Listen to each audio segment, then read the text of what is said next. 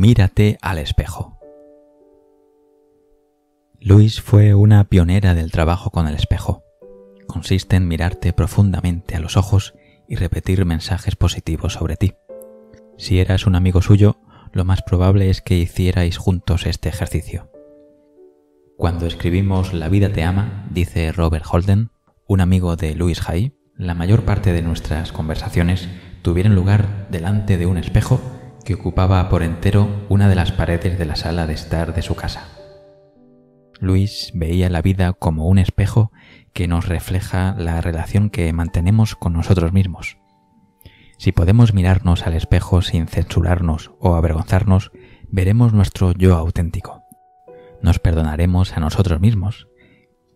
Seremos más afectuosos con los demás y dejaremos que la vida nos ame. Luis recomendaba el trabajo con el espejo a todo el mundo como el método más rápido y eficaz para eliminar los bloqueos que nos impiden amarnos a nosotros mismos. Cuando alguien viene a mí con un problema, no me importa de qué se trata, ya sea mala salud, falta de dinero, relaciones insatisfactorias o una creatividad sofocada, yo siempre trabajo sobre una sola cosa, que es el amor a sí mismo escribió Luis en Usted puede sanar su vida. Animaba a todo el mundo a mirarse al espejo por lo menos una vez al día y a decir, Te amo, te amo de verdad. No te dé vergüenza hacerlo, decía ella. No es más que otra forma de decir, la vida te ama.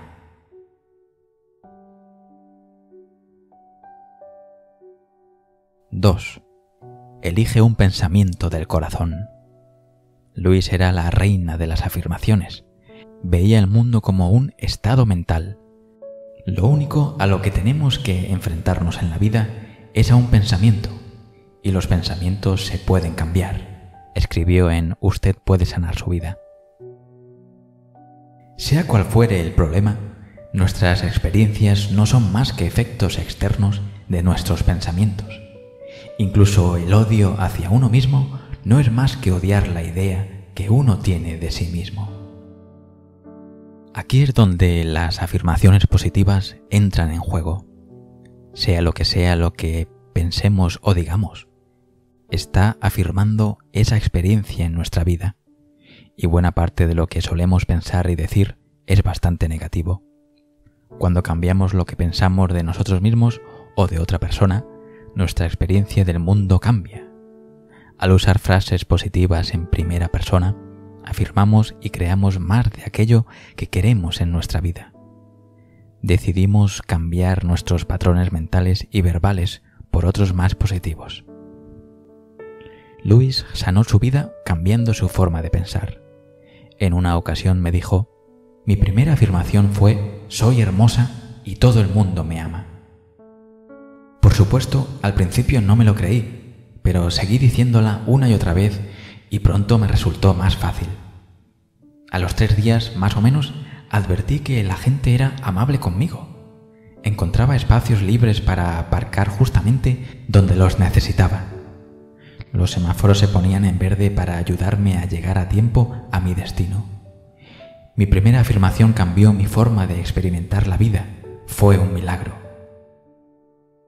Luis nos animaba a todos a observar nuestros pensamientos y a elegirlos. Ten pensamientos que te funcionen, recomendaba. Elige un pensamiento del corazón, una afirmación afectuosa, y llévatela contigo a lo largo del día. No te limites a decir afirmaciones, cántalas en voz alta, dilas frente al espejo, pégalas en la nevera, escríbetelas en la mano Vive tus afirmaciones de verdad.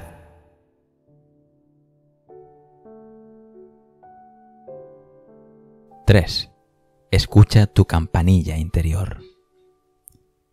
A Luis le encantaba hablar sobre su campanilla interior. Era su forma de llamar afectuosamente a su guía espiritual interior. Pienso que nuestra mente está conectada con la mente única infinita y por lo tanto todo el conocimiento y toda la sabiduría están siempre a nuestra disposición. Estamos conectados a esta mente infinita, a este poder universal que nos ha creado, por medio de una chispa de luz que hay dentro de nosotros, nuestro yo superior o poder interior. Escribió en El poder está dentro de ti. Luis aprendió a vivir siguiendo la voz interior que le hablaba. Confiaba en su campanilla interior. Cuando inicié el camino espiritual, sentí que no tenía control sobre nada y que no debía intentar tenerlo. La vida me ha traído siempre lo que he necesitado. Siempre me he limitado a responder a lo que se me ha presentado. Le cuenta Luis a Cheryl Richardson en Tú puedes crear una vida excepcional el libro que escribieron juntas. Una de las prácticas espirituales preferidas de Luis era sentarse en silencio, preferiblemente delante de un espejo, conectar con su campanilla interior y preguntarle, dime qué necesito saber hoy.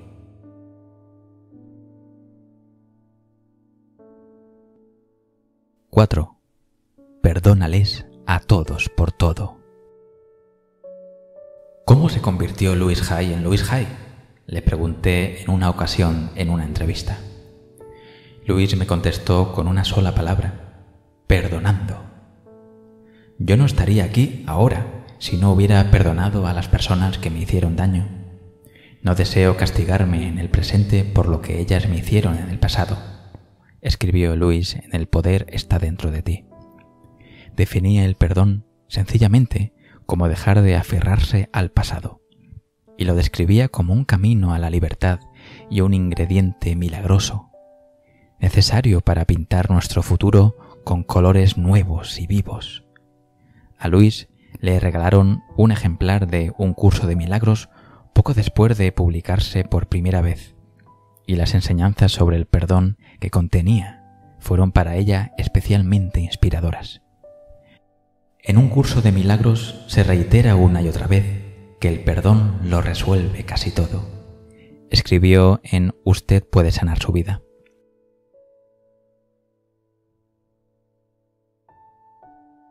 ¡5! Agradece el día de hoy. Robert Holden, que escribió La vida te ama con Louis Hay, dice, Empiezo La vida te ama contando una historia de Luis disfrutando de un almuerzo festivo el día de acción de gracias con sus amigos para mostrar hasta qué punto la gratitud era una práctica espiritual diaria para ella y no solo un ritual esporádico. Comenzaba el día dándole las gracias a su cama por haberle permitido descansar bien por la noche. También tenía presente la gratitud a lo largo del día Recuerdo en especial cómo le daba las gracias a su ordenador, a su coche, a la tetera y a otros objetos inanimados de los que se servía por funcionar de maravilla. Disfruto más del día cuando me acuerdo de ser agradecida, me contó. Luis sabía que la gratitud es una afirmación. Cuanto más agradecido eres, más razones descubres para sentirte agradecido. Luis estuvo llevando un diario de la gratitud durante varios años. Por la noche, justo antes de dormirme, repaso el día, bendiciendo y agradeciendo cada experiencia. También me perdono si me parece que he cometido un error, he dicho algo inapropiado o he tomado una decisión que no era la mejor. Escribió en el libro Gratitud. 6. Cuida tu cuerpo. La víspera en la que había planeado visitar a Luis, recibí un correo electrónico suyo en el que me decía, Tráete unos pantalones cortos.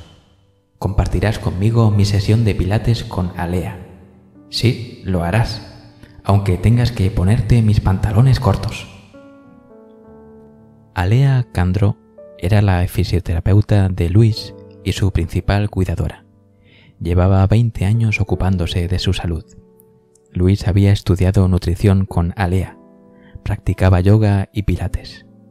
Había aprendido a cocinar caldo de huesos y cultivaba sus propias hortalizas y frutas ecológicas en una pequeña parcela de la casa de Alea.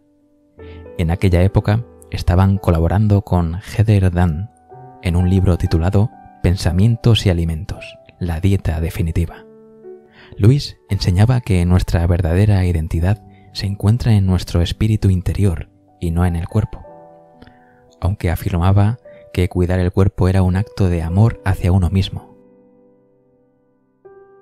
Perdónate por no haber tratado bien a tu cuerpo en el pasado y empieza hoy a tratarlo con amor y respeto, enseñaba ella. Una de las afirmaciones preferidas de Luis era, escucho con amor los mensajes de mi cuerpo. Cada día se reservaba un rato para estar en silencio, sintonizar con su cuerpo y preguntarle a su campanilla interior, ¿cómo puedo hoy amar a mi cuerpo?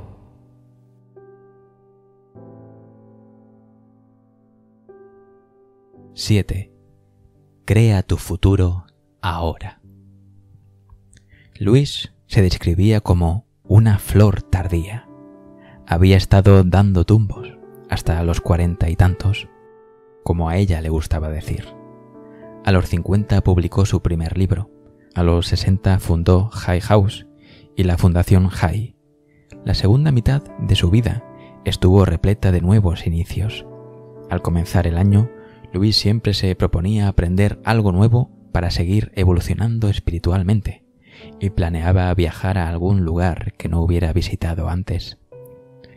Luis aprovechó al máximo la última etapa de su vida. No usaba su edad como una razón para dejar de aprender y de crecer. Vivo en la totalidad de las posibilidades, le gustaba decir. Era consciente de que cada nueva década de su vida le ofrecía una sabiduría y unos regalos únicos. El momento de poder siempre se encuentra en el presente, aseguraba. En 2013 pronuncié el discurso inaugural en el primer congreso de Ignite, un nuevo evento organizado por High House. El día anterior le escribí un correo a Luis preguntándole si tenía algún mensaje para compartir con el público. Esto fue lo que me respondió. Enciendo mi vida cada vez que emprendo algo nuevo. Me entusiasma atreverme a descubrir un espacio nuevo. Sé que solo me aguardan experiencias positivas, así que estoy lista para lo que sea que la vida me haya reservado. Las aventuras nuevas nos rejuvenecen. Y enviar pensamientos afectuosos en todas direcciones mantiene nuestra vida llena de amor. Los 86 son el nuevo comienzo de mi vida.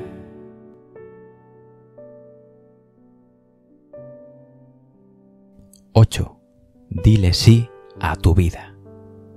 A Luis le gustaba describirse como una persona que dice sí, viviendo en un universo que dice sí. En Usted puede sanar su vida, escribió, sea lo que sea lo que decidamos creer, pensar o decir, el universo siempre nos dice sí. Si pensamos en la pobreza, el universo nos dice sí a la pobreza. Si pensamos en la prosperidad, el universo nos dice sí a la prosperidad. Depende de nosotros. El mensaje es que debemos ser cuidadosos con aquello a lo que decimos sí, porque atraeremos o crearemos lo que afirmamos. No he hecho más que escuchar mi campanilla interior y decirle sí, me contó Luis mientras reflexionaba sobre su labor como escritora. Conferenciante, editora, maestra, artista y activista. Decir sí significa muchas cosas para Luis. Aceptar que era la responsabilidad de sanar su vida.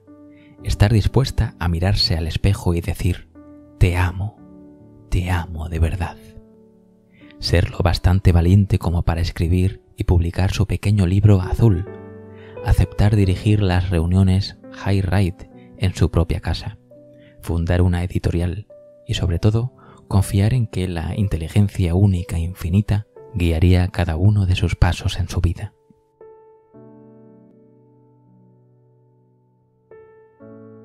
—9.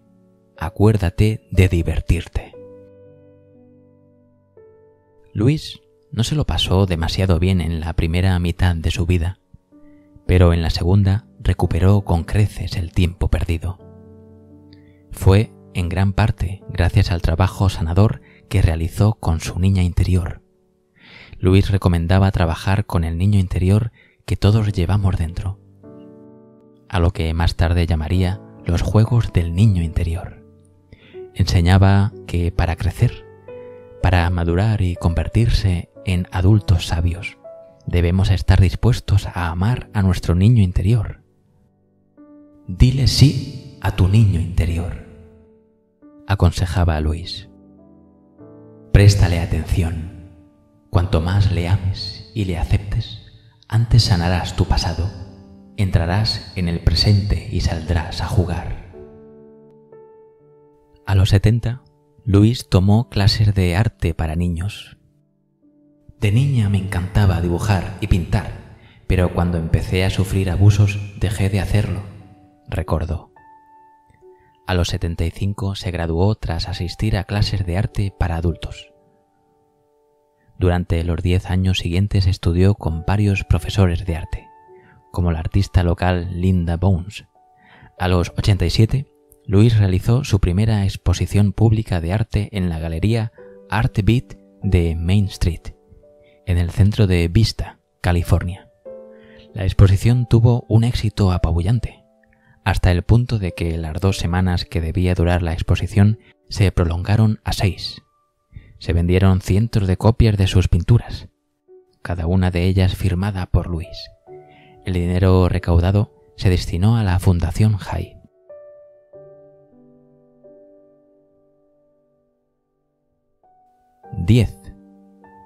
Deja que la vida te ame. La última vez que Luis apareció en el programa de Oprah Winfrey, Oprah le preguntó qué consejo le podía dar a cualquier telespectador que pensara que era demasiado tarde para cambiar o crecer. Luis le respondió con rotundidad, que se lo replantee. Aunque lleves mucho tiempo creyendo algo, no tienes por qué pasarte la vida pensando lo mismo. Debemos tener pensamientos que nos apoyen y nos inspiren. Ver que la vida nos ama. Y si amamos la vida, todo lo que nos aguardará será maravilloso. La vida te ama era la afirmación característica de Luis. Es el pensamiento del corazón que mejor representa su vida y su obra. Cuando se dedicaba a firmar sus libros, ante colas de cientos de personas, Luis firmaba diligentemente cada ejemplar poniendo La vida te ama. También firmaba los correos electrónicos y concluía las llamadas telefónicas y las sesiones de Skype con estas mismas palabras siempre escribía en mayúscula la palabra vida de esta frase, ya que se refería a la inteligencia única e infinita que actúa detrás de todo. La vida te ama no es solo una afirmación, sino que además refleja la filosofía de una verdad básica que nos anima a confiar en que la vida, en mayúsculas, quiere lo mejor para nosotros y que cuanto más la amamos, más ella nos ama.